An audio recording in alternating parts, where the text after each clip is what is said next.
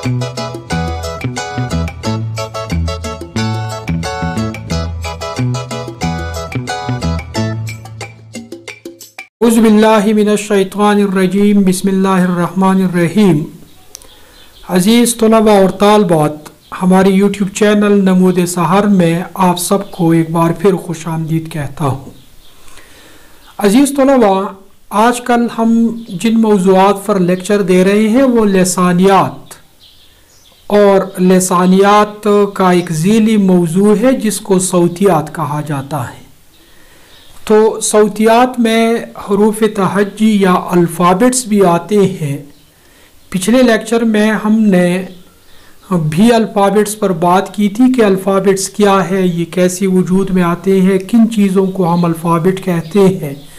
और इसकी ज़रूरत क्यों पेश आई? इस तरह के मुख्तलिफ़ मौजूद पर हमने बात की थी कल के लेक्चर में या पिछले लेक्चर में। तो अब जो लेक्चर हम देने जा रहे हैं, इसमें हम उसी लेक्चर के तसलसल में कल जो चीज़ें रह गई थी, आज उनमें से कुछ का तस्करा करते हैं, कुछ पर बात करते हैं गुफ्तु करते हैं। तो आज के लेक्चर में हम रस्मुलख़त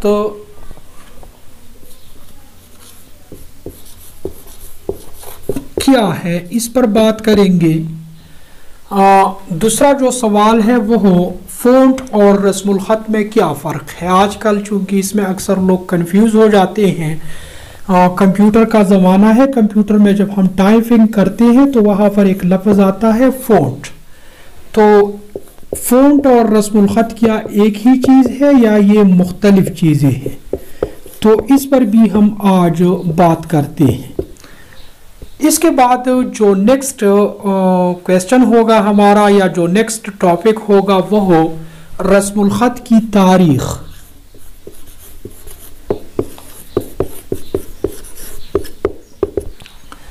आलमी मंजरनामे पर हम बात करेंगे दुनिया की जो मालूम तारीख़ है। मुख्तसरा हम उसका ज़िक्र करते हैं और फिर उसमें हम रस्मुलख़त के मुतल बात करेंगे। हाँ इसी तरह उर्दू जो रस्मुलख़त है उर्दू रस्मुलख़त का इरतका। इस पर बात करेंगे और नस्तगलीक पर भी बात करेंगे कि नस्तगलीक क्या चीज़ है आ, ये किस किस्म का रस्मुलख़त है। तो ये आज के हमारे बुनियादी मौजूद हैं। जो पहला मौजू है वो है रस्मुलख़त क्या है। अज़ीज़ तलबा, कल हमने बात की थी कि इंसान के मुँह से जो आवाज़ें निकलती हैं, उन आवाज़ों को तहरीरी सूरत में लिखने के लिए हम जो तरीक़ा इख्तियार करते हैं, उसको रस्मुलख़त कहा जाता है। अब दुनिया में बहुत सारी ज़बानें मौजूद है, याद रखिए, बोली जो है या जिस हम गुफ्तगु जो कर रहे हैं, जो बातें कर रहे हैं, इसको बोली या ज़ुबान कहा जाता है।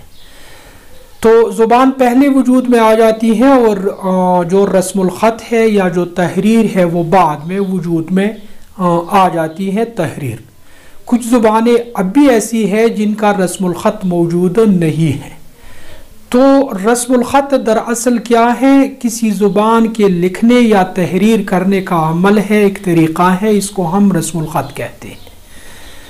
अब रस्मुलख़त कैसे वजूद में आया? तारीख़ पर हम बात कर रहे हैं। चूँकि कल के लेक्चर में हमने इस टॉपिक पर तफसीली गुफ्तु की थी इसलिए मेरे ख्याल में आज आपका ज़्यादा टाइम मैं वेस्ट नहीं करना चाहता कि रस्म रस्मुलख़त क्या है, ये कैसी वजूद में आता है।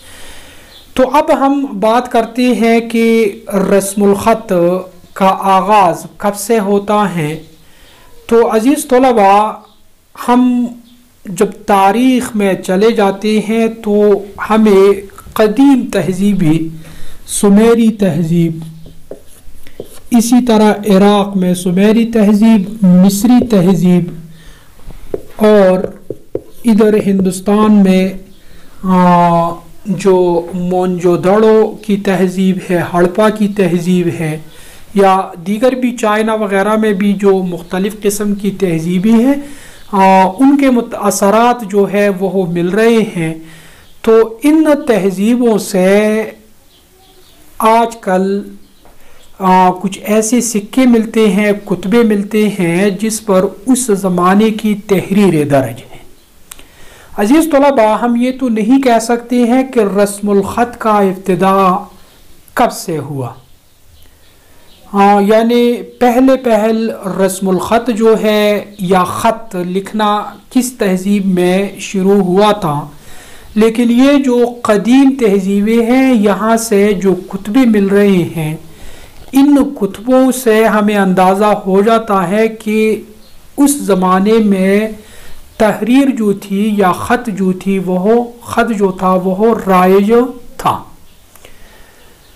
अब सुमेरी तहज़ीब के हम बात कर रहे हैं तो सुमेरी तहज़ीब ये आ,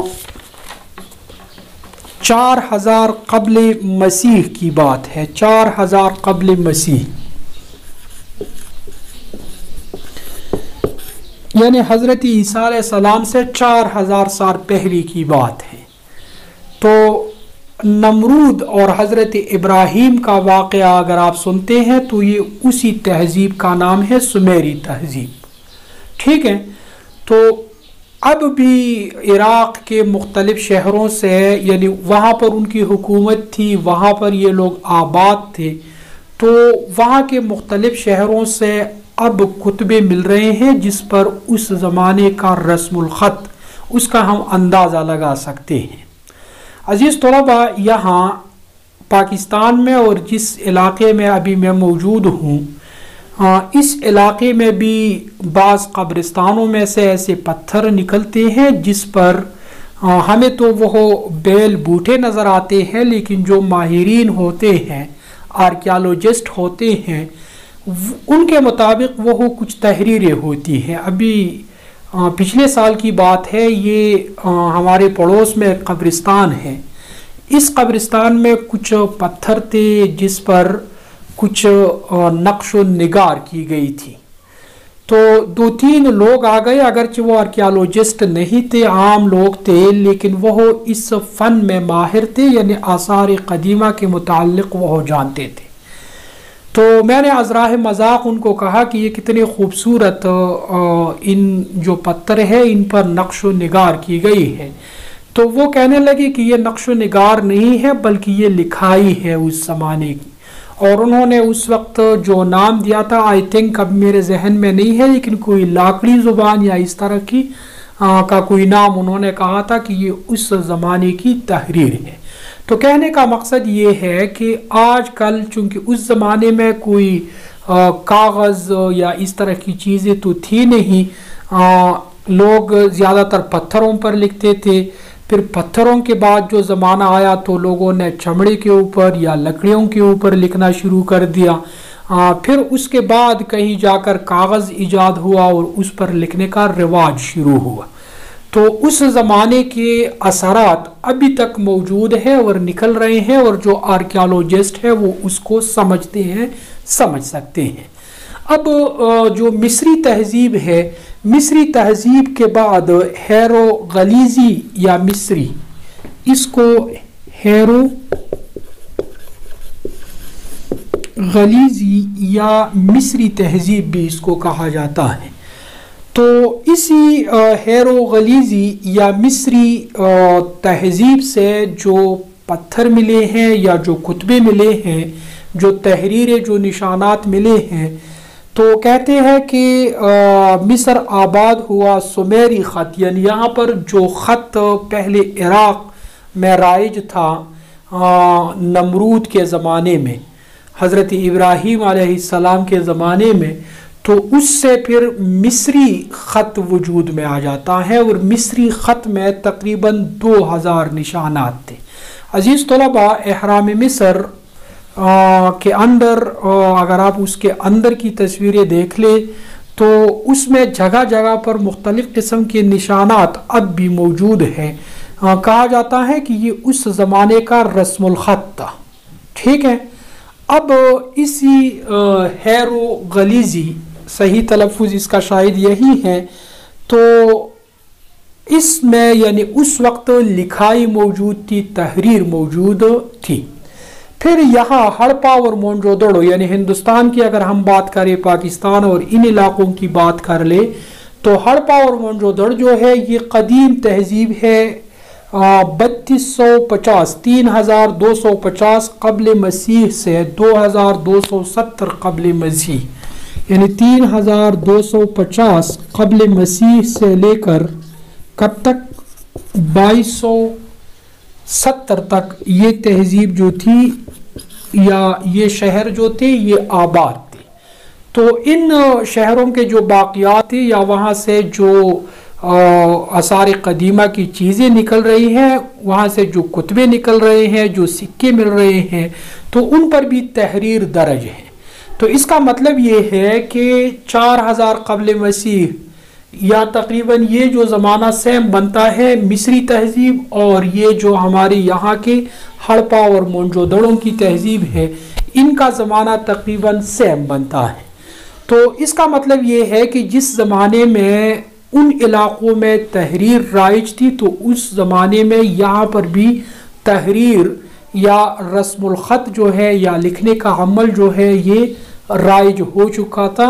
शायद बहुत पहले से राइज था, लेकिन जो असरात हमें मिल रहे हैं, उसके मुताबिक हम ये कह सकते हैं कि तीन हज़ार दो सौ पचास कबल मसीह में, यहाँ यानी हिंदुस्तान में लिखने का अमल जो था, वो शुरू हो चुका था। ठीक है, अज़ीज़ तलबा, अब ये जो पंद्रह सौ कबल मसीह में हैरातीकी ख़त लिखा गया। तो ये भी एक रस्मुल ख़त का नाम है, हैरातीकी।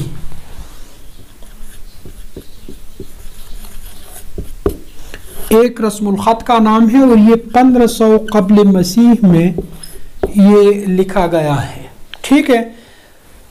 इसी दौर में सामी ख़त भी सामने आया। यानी ये पंद्रह सौ कबल मसीह की बात है, हज़रत मूसा या उससे थोड़ा सा पहले की बात है कि उस ज़माने में ये हैरातीकी ख़त और इसके साथ साथ सामी ख़त, ये दो किस्म के खतूत उस वक्त राइज थे। अब सामी ख़त जो है, सामी ख़त इब्रानी, अरबी, यूनानी, चीनी, रूसी और हिंदुस्तानी ज़बानों के रस्मखत सामी रस्मखत से माखूज है। ठीक है? यानी सामी रस्मखत से आगे फिर बात बढ़ी और इससे ये जो मुख्तलिफ़ ज़बानें हैं, अरबी अरबी का असर तो इस पूरे इलाके पर अभी तक मौजूद है। इसी तरह दीगर जो ज़ुबानें हैं, जिसमें चीनी, रूसी वगैरह भी शामिल है, यूनानी भी शामिल है तो ये सब सामी से वजूद में आ गए हैं।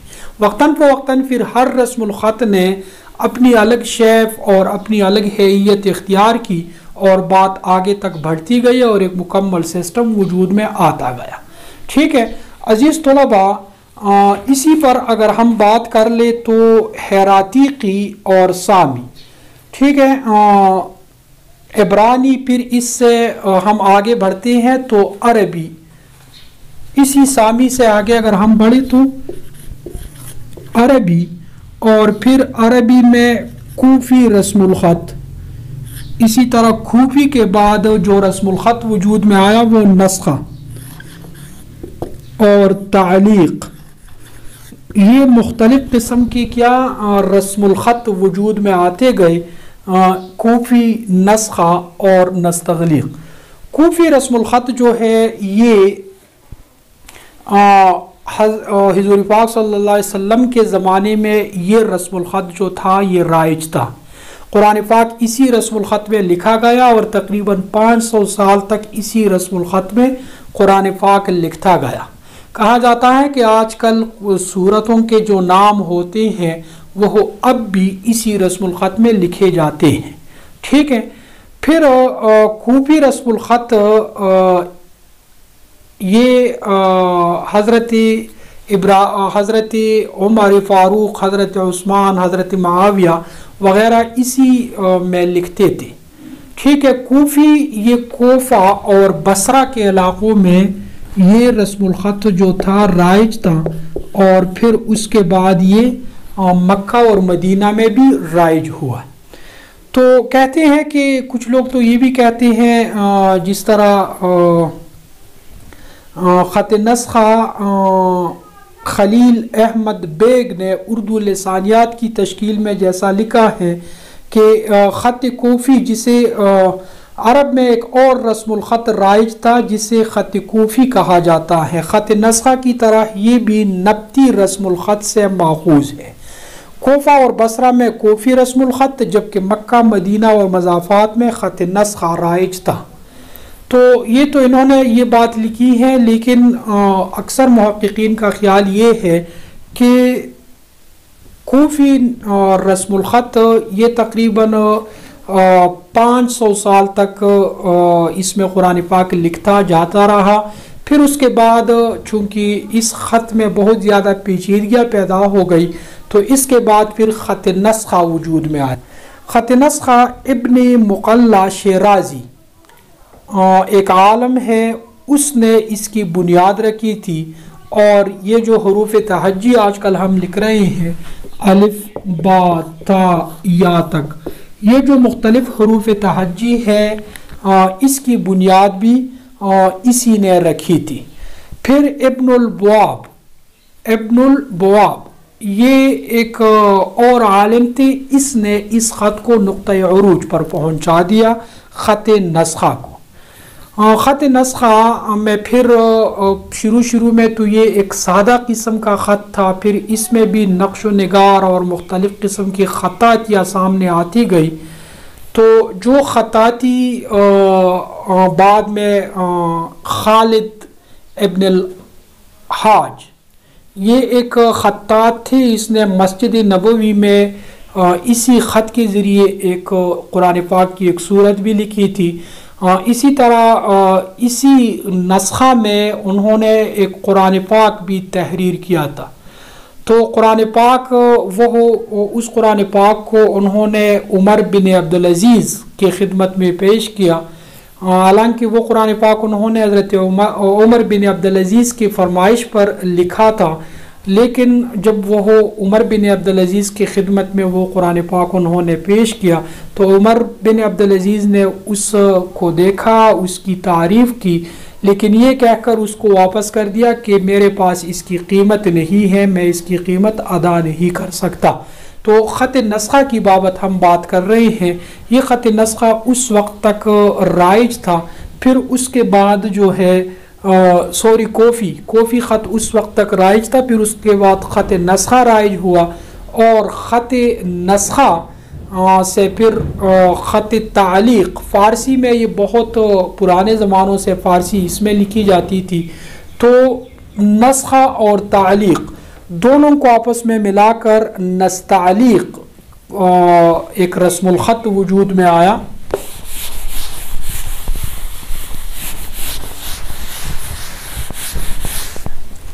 नस्तगलीक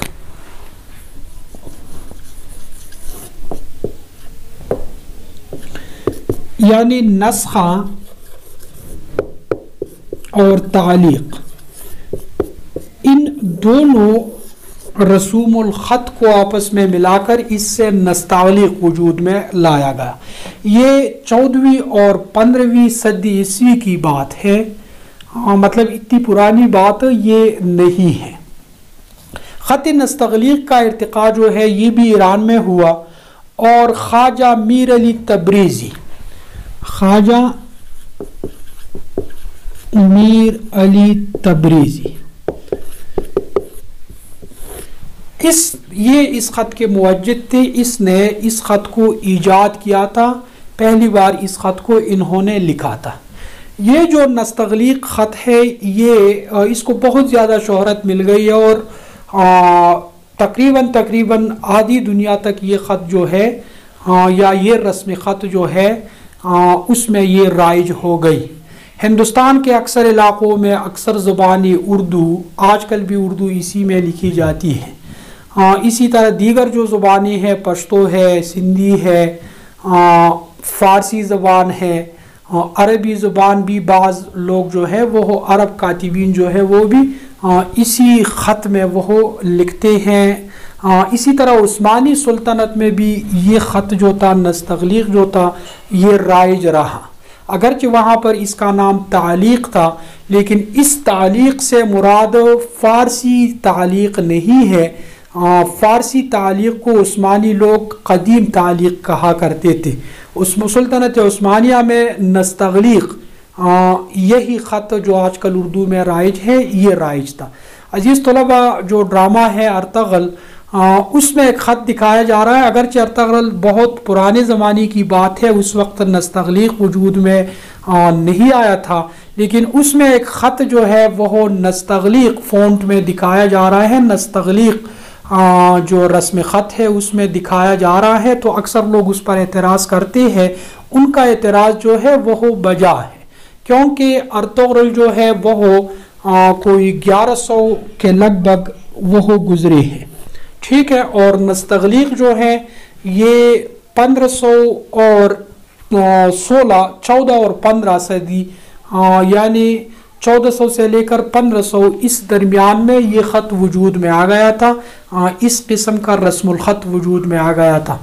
तो जो लोग एतराज़ उस पर करते हैं वो हक बजानब है शायद डायरेक्टर ने से कुछ गलती उसमें हो गई है।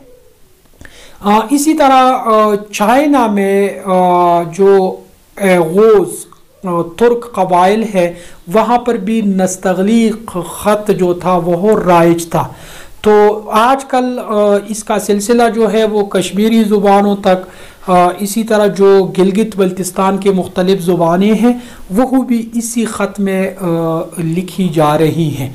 तो नस्तगली ख़त जो है ये बहुत ज़्यादा आज तक आ, आज तक ये मशहूर है और दुनिया के अक्सर ममालिक में ये ख़त जो है इस्तेमाल होता रहा है।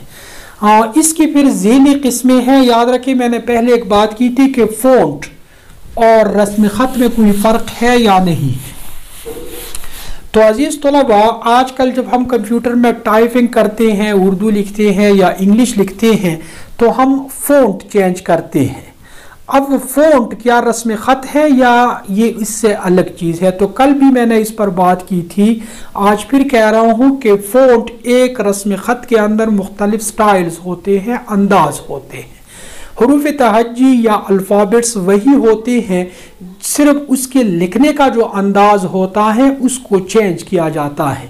मतलब या तो उनको लंबा करके लिखा जाता है, या उसमें क्या किया जाता है, उसको थिरचा करके लिखा जाता है, सीधा लिखा जाता है। तो ये मुख्तलिफ़ किस्म के स्टाइल्स है, इसको हम फ़ोन्स कहते हैं और उर्दू में इसको ख़त्ताती कहा जाता है। ठीक है?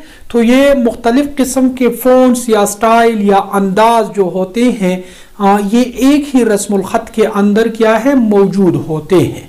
ठीक है? आ, लेकिन कंप्यूटर्स में आ, जब हम लिखते हैं तो फ़ोन की जेल में उर्दू बिलखसूस जब हम इनफेज यूज़ करते हैं तो उसमें वह नूरी नस्तगलीक लिखते हैं, इस तरह नस्खा भी लिखते हैं, मुख्तलिफ़ किस्म के जो रस्मख़त है वह उनका तस्करा करते हैं।